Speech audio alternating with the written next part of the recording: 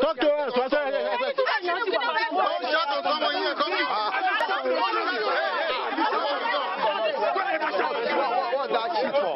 We were attacked Okay. from outside, not from within, from outside. Uh, they came massively with uh, uh, different weapons, and uh, we have been here since uh, yesterday, uh, since around uh, 10:30, about 11, yesterday, 11 p.m. till this morning. So we are still trying. Our men are out there trying to recapture uh, them. During the attack, there was no casualty. The motive of those that came will come to light later.